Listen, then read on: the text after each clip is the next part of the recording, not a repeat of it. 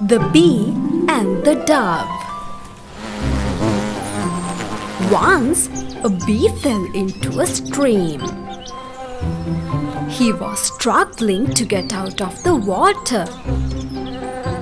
His wings got wet and he could not fly.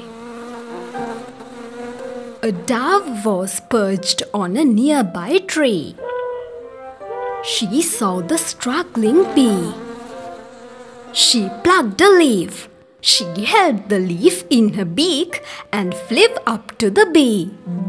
She scooped the bee with the leaf and dropped him out on the shore.